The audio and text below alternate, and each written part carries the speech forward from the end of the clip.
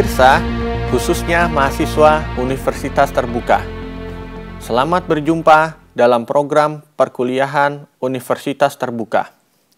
Program ini akan membahas mata kuliah hukum pidana dengan topik pengertian hukum pidana, pembagian hukum pidana, tujuan hukum pidana, dan fungsi hukum pidana. Pemirsa, tentunya Anda pernah membaca atau melihat dari berbagai media massa kasus hukum khususnya yang berkaitan dengan kriminalitas merupakan materi berita yang selalu ada dalam media massa. Dalam hal ini menunjukkan bahwa hukum pidana merupakan aspek penting dalam kehidupan manusia khususnya untuk menanggulangi kejahatan melalui kebijakan pidana atau yang dikenal penal. Hukum pidana dapat dinamakan tentang hukum untuk menanggulangi kejahatan. Program siaran ini akan menyampaikan bahasan tentang hukum pidana yang merupakan pengayaan dari materi modul hukum pidana, khususnya tentang bidang kajian pengertian hukum pidana, pembagian hukum pidana, tujuan hukum pidana, dan fungsi hukum pidana. Dengan demikian, setelah saudara mendengar program siaran ini, maka saudara diharapkan mampu memahami definisi hukum pidana, pembagian hukum pidana, serta tujuan hukum pidana secara teoritis. Pembahasan akan dimulai dengan penjelasan tentang apa itu pidana dan penjelasan tentang pengertian hukum pidana. Harapannya adalah agar saudara mempunyai pengetahuan tentang dua bidang ilmu hukum yang menjadi dasar dari kajian hukum pidana. Kemudian akan dilanjutkan dengan penjelasan esensi dari kajian hukum pidana itu sendiri dan silahkan mengikuti. Saudara pemirsa, sebelum kita membahas tentang hukum dalam perspektif pidana, saya akan sedikit menguraikan tentang pengertian pidana dan hukum pidana. Pidana merupakan suatu pengenaan penderitaan atau nestapa yang tidak menyenangkan diberikan dengan sengaja oleh orang atau lembaga yang berwenang kepada orang yang telah melakukan tindak pidana menurut undang-undang yang berlaku. Mengenai apa yang dimaksud dengan hukum pidana, maka kita dapat melihat pengertian hukum pidana menurut Mulyatno. Menurut beliau memberikan suatu definisi hukum pidana sebagai bagian dari pada keseluruhan hukum yang berlaku di suatu negara yang mengadakan dasar-dasar dan aturan-aturan untuk menentukan perbuatan mana yang tidak boleh dilakukan, yang dilarang, dengan disertai ancaman atau sanksi yang berupa pidana tertentu bagi barang siapa yang melanggar larangan tersebut. Menentukan kapan dan dalam hal apa kepada mereka yang melanggar larangan-larangan itu dapat dikenakan atau dijatuhi pidana sebagaimana yang diancamkan menentukan dengan cara bagaimana pengenaan pidana itu dapat dilaksanakan apabila ada orang yang disangkakan telah melanggar larangan tersebut. Setelah saudara memahami pengertian pidana dan hukum pidana, selanjutnya saya akan menjelaskan pembagian hukum pidana. Berdasarkan pembagian hukum pidana, terbagi atas hukum pidana material dan hukum pidana formil hukum pidana objektif dan hukum pidana subjektif, hukum pidana khusus dan hukum pidana umum, hukum pidana nasional, lokal, dan hukum pidana internasional. Pada hukum pidana materi berisi perbuatan-perbuatan yang tidak boleh dilakukan atau perbuatan-perbuatan harus dilakukan yang disertai ancaman pidana. Singkatnya, hukum pidana material berisi mengenai perbuatan-perbuatan pidana, contohnya ada dalam KUHP atau yang dikenal sebagai Kitab Undang-Undang Hukum Pidana. Sedangkan hukum pidana formil pada dasarnya sama dengan hukum pidana formil. Hukum hukum formil lainnya yaitu untuk menegakkan hukum materialnya. Dengan demikian, hukum pidana formil adalah untuk menegakkan hukum pidana material Hukum pidana formil tersebut pada dasarnya berisi mengenai cara bagaimana menegakkan hukum pidana material melalui suatu proses peradilan pidana. Contoh dari hukum pidana formil adalah KUHAP atau yang lebih dikenal yakni Kitab Undang-Undang Hukum Acara Pidana. Menurut Hawizkel Suringa mendefinisikan hukum pidana objektif yang juga disebut sebagai ius ponale sebagai perintah dan larangan yang pelanggaran terhadap larangan dan norma tersebut diancam pidana oleh badan yang berhak ketentuan-ketentuan mengenai upaya-upaya yang dapat digunakan jika norma itu dilanggar yang disebut sebagai hukum penitentiarir dengan Eh, mengenai hukum yang dan sanksinya dan aturan-aturan yang menentukan kapan dan di mana berlakunya norma tersebut. Sedangkan hukum pidana yang subjektif atau ius punendi menurut surinya adalah hak negara untuk menuntut pidana, hak untuk menjatuhkan pidana, dan hak untuk melaksanakan pidana. Hukum pidana umum adalah hukum pidana yang ditujukan dan berlangsung untuk semua warga negara sebagai subjek hukum tanpa membeda-bedakan kualitas pribadi subjek hukum tertentu. Materi hukum pidana umum ini bersumber pada KUHP dan formil hukum pidana umum yang bersumber pada KUHAP. Selain hukum pidana umum ini, ada juga yang disebut sebagai hukum pidana khusus Pembagian hukum pidana khusus dapat didasarkan atas dasar subjek hukumnya maupun atas dasar pengaturannya. Jika dilihat dari subjek hukumnya, hukum pidana khusus adalah hukum pidana yang dibentuk oleh negara hanya dikhususkan berlaku bagi subjek hukum tertentu saja. Misalnya, hukum pidana militer. Hukum pidana militer merupakan hukum pidana khusus yang tertua di dunia yang hanya diperuntukkan bagi mereka yang menjadi anggota militer aktif. Hukum pidana militer ini dituangkan dalam Kitab Undang-Undang Hukum Pidana Militer atau disingkat KUHPM. Pelanggaran terhadap KUHPM juga tidak diadili di lingkungan peradilan umum, tetapi melainkan diadili di lingkungan peradilan militer. Dilihat dari pengaturannya, hukum pidana khusus adalah ketentuan-ketentuan hukum pidana yang secara material menyimpang dari KUHP atau secara formil menyimpang dari KUH dari KUHAP. Hukum pidana khusus dibagi menjadi dua bagian, yaitu hukum pidana khusus dalam undang-undang pidana dan hukum pidana khusus bukan dalam undang-undang pidana. Hukum pidana khususnya dalam undang-undang pidana contohnya adalah Undang-Undang Pemberantasan Tindak Pidana Korupsi, Undang-Undang Pemberantasan Tindak Pidana Terorisme, Undang-Undang Pencegahan dan Pemberantasan Tindak Pidana Pencucian Uang, dan lain sebagainya. Hukum pidana nasional hal ini oleh Dewan Perwakilan Rakyat bersama Presiden bentuk hukum dari hukum pidana nasional adalah undang-undang. Hukum pidana nasional ini dimuat dalam KUHP dan undang-undang khusus baik yang termasuk undang-undang pidana maupun bukan undang-undang pidana sebagai mana yang telah dijelaskan sebelumnya.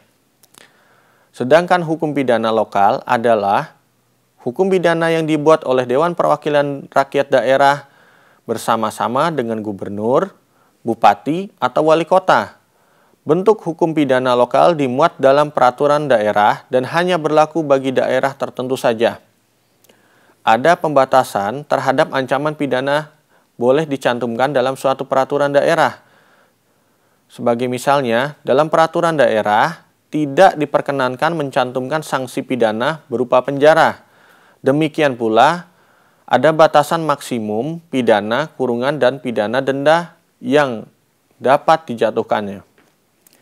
Selain hukum pidana nasional dan hukum pidana lokal, ada juga hukum pidana internasional yang bertolak dari perkembangan zaman bahwa terdapat perbuatan-perbuatan yang dilarang yang kekuatan hukum berlakunya tidak hanya dipertahankan oleh kedaulatan suatu negara, tetapi juga dipertahankan oleh masyarakat internasional.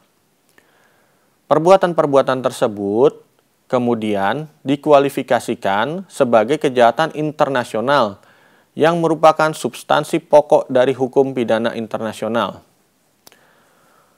Ahli hukum yakni Rowling mendefinisikan hukum pidana internasional sebagai hukum yang menentukan hukum pidana nasional yang akan diterapkan terhadap kejahatan-kejahatan yang nyata-nyata dilakukan jika terdapat unsur-unsur internasional di dalamnya.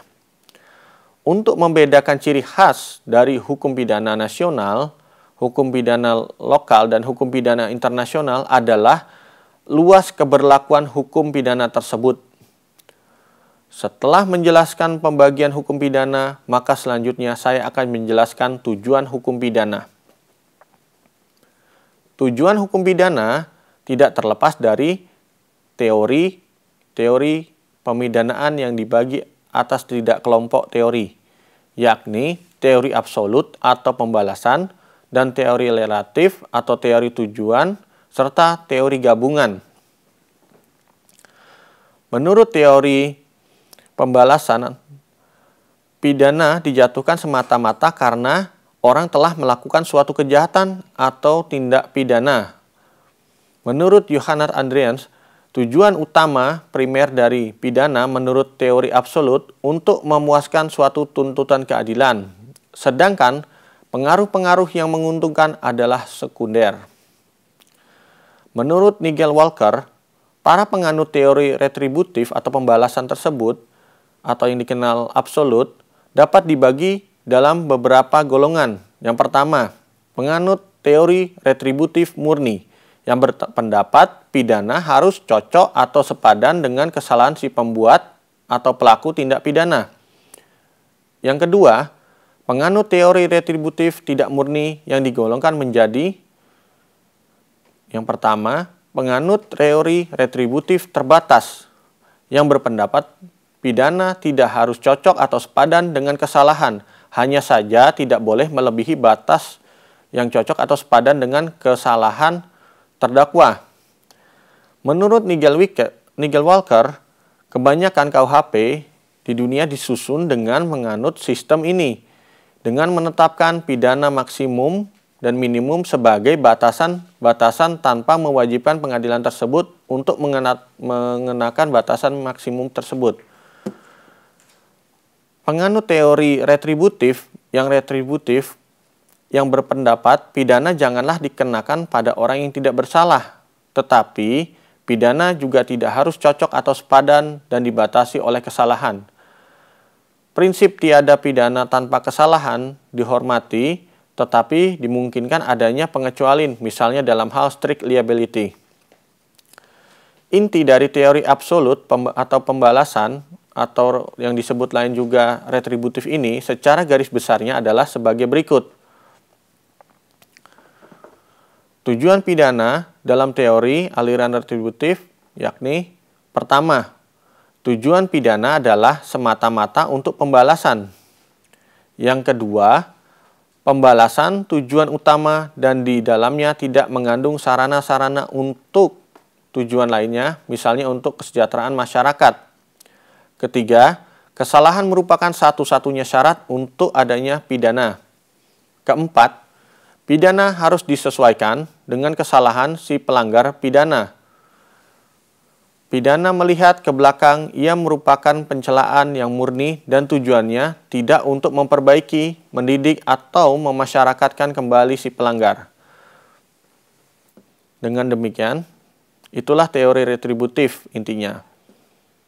Setelah menjelaskan tujuan pidana menurut teori absolut atau pembalasan atau yang dikenal retributif tersebut, selanjutnya saya akan menjelaskan tujuan pidana menurut teori relatif atau yang dikenal teori tujuan yang istilahnya dikenal yaitu utilitarian.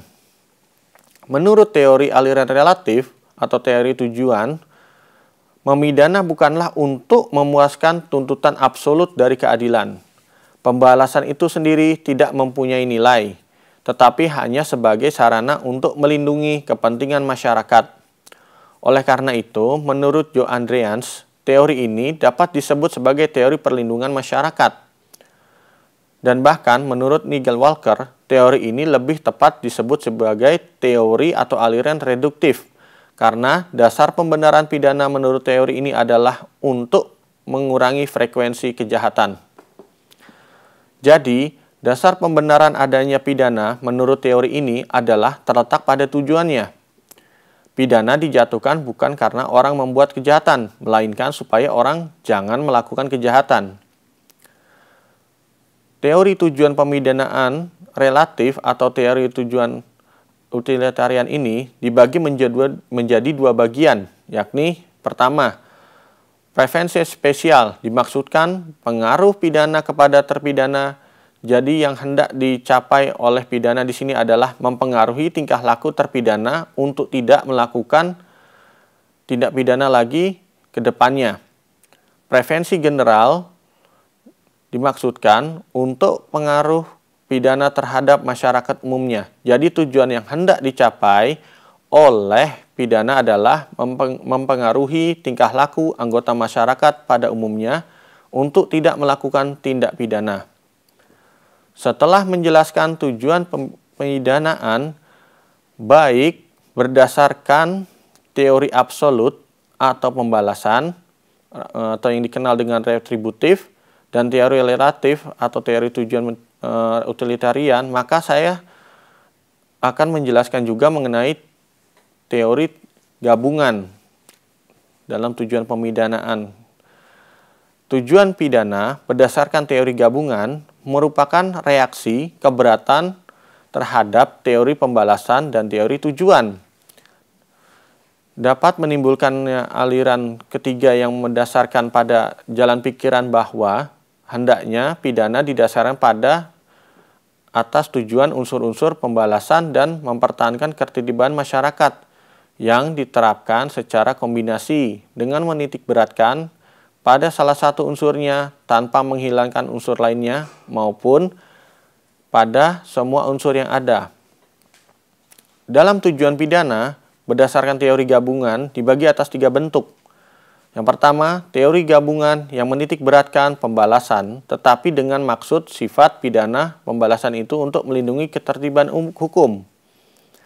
Tokoh aliran ini adalah Zevenbergen, teori gabungan yang menitik beratkan pada perlindungan ketertiban masyarakat, bahwa prevensi umum terletak pada ancaman pidananya dan secara prevensi khusus pada sifat pidana menakuti, memperbaiki dan membinasakan serta melanjutkan secara absolut pidana itu.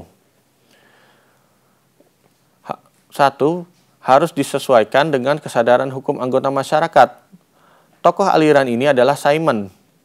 Teori gabungan yang menitik beratkan sama dengan pembalasan dan perlindungan kepentingan masyarakat. Tokoh aliran ini adalah De Pinto. Apabila ketiga aliran tersebut di atas dikaitkan dengan konteks bangunan hukum pidana di Indonesia, maka dapat dikatakan bahwa KUHP Indonesia yang sekarang ini adalah mencerminkan sosok hukum pidana yang mencerminkan beraliran klasik Kesimpulan demikian misalnya terlihat dari rumusan pasal-pasal KUHP yang selalu diawali dengan kata-kata barang siapa yang melakukan dan seterusnya. Hal ini menunjukkan arti bahwa siapa yang berbuat tindak pidana akan dikenai pidana tertentu tanpa harus memperhatikan kondisi subjektif pelaku saat berbuat. Ini adalah ciri khas aliran pemikiran hukum pidana klasik yang sangat melekat atau menekankan aspek perbuatan daripada pelakunya. Namun, apabila dikaitkan dengan hukum pidana Indonesia yang mendatang atau RUU KUHP Indonesia, maka dapat dikatakan bahwa bangunan RUU KUHP Indonesia adalah mencerminkan sosok hukum pidana yang beraliran neoklasik atau neomodern atau dat Staffrecht. Saudara telah memahami pengertian pidana, hukum pidana, dan pembagian hukum pidana serta tujuan pidana. Saat ini akan saya jelaskan fungsi hukum pidana. Menurut Sudarto, fungsi hukum pidana itu dapat dibedakan sebagai berikut. Yang pertama adalah fungsi umum fungsi yang mana fungsi hukum pada umumnya yaitu untuk mengatur hidup kemasyarakatan atau untuk menyelenggarakan tata dalam masyarakat. Menurut Sudarto, fungsi umum hukum pidana adalah untuk mengatur hidup kemasyarakatan atau menyelenggarakan tata masyarakat berisi ketentuan hukum pidana yang berlaku untuk seluruh lapangan hukum pidana, baik yang terdapat dalam KUHP maupun di luar KUHP kecuali ditentukan lain. Yang kedua adalah fungsi yang khusus. Fungsi khusus bagi hukum pidana adalah untuk melindungi kepentingan hukum terhadap perbuatan yang hendak memperkosanya, Rechtsschuld, dengan sanksi yang berupa pidana yang sifatnya lebih tajam jika dibanding dengan sanksi yang terdapat pada cabang hukum lainnya bahwa di, dapat dikatakan bahwa hukum pidana bertujuan untuk melindungi kepentingan-kepentingan hukum, misalnya nyawa, harta benda, kemerdekaan, atau kehormatan. Namun jika terjadi pelanggaran terhadap larangan atau perintahnya justru mengenakan e, akan dikenakan perlukaan menyakiti kepentingan benda hukum si pelanggar. Dapat dikatakan bahwa hukum pidana itu memberi aturan-aturan untuk menanggulangi perbuatan jahat.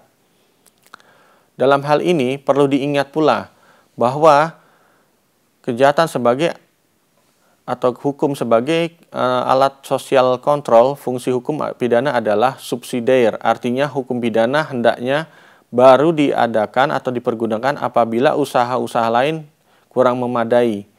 Selain itu, menurut Adami Cahzawi menyebutkan bahwa sebagai bagian dari hukum publik, hukum pidana berfungsi satu atau yang dapat dikatakan pertama adalah melindungi kepentingan hukum dari perbuatan atau perbuatan-perbuatan yang menyerang atau memperkosa kepentingan hukum tersebut. Yang kedua, memberikan dasar legitimasi bagi negara dalam rangka menjalankan fungsi perlindungan atas berbagai kepentingan hukum, mengatur dan membatasi kekuasaan negara dalam rangka negara melaksanakan fungsi perlindungan atas kepentingan hukum.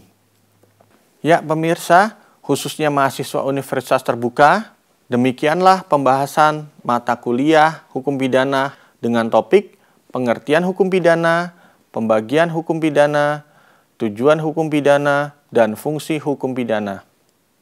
Semoga program ini bermanfaat untuk Anda semua. Selamat belajar dan sukses.